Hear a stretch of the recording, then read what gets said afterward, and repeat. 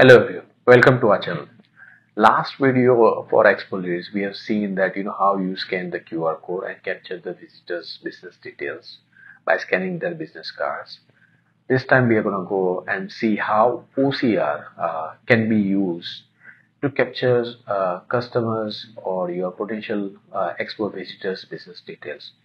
A lot of business card doesn't has the QR code so in that scenario, the OCR, optical character recognition, would be handy to capture visual details and you don't need any extra hardware. You just use your mobile, install our mobile application and from this mobile application you can easily activate the OCR and capture uh, the business card details of your visitors at the expo booth.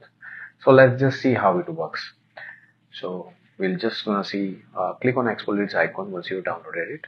Click on OCR and you know, it will ask you to use the camera and record the audios and videos. So we just allowed it. Now put up the scanner uh, business card uh, under your camera. So that will uh, scan all the text details uh, using OCR so now we have scanned it. So as you can see all the business details for this particular person Raghav Sarda has been captured and you know some details like address and all those things can be all easily modified if you think that these details are not captured correctly.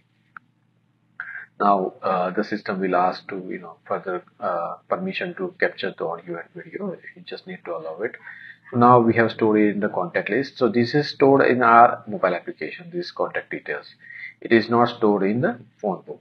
Now let's just add some notes over here because this contact was very useful and it's a hot lead so we can say this is a strong lead we can also take a selfie and upload over here in the image section. So this we remember as a client as well. And so we have added a voice note added a photograph.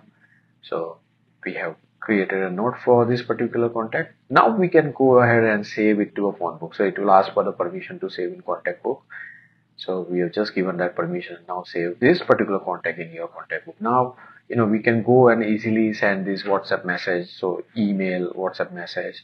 So we'll just send a whatsapp message to this particular person if they have the whatsapp number. So that's easy way of directly communicating with the customer.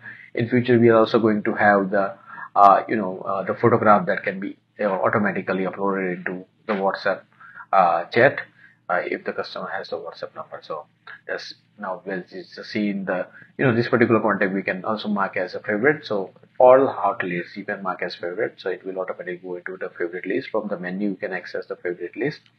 From here also you can you know see and contact the person. Uh, so that's how the OCR technique works in Expo Leads. I hope you have enjoyed the video. Do subscribe to our channel for more interesting video like this. Thank you.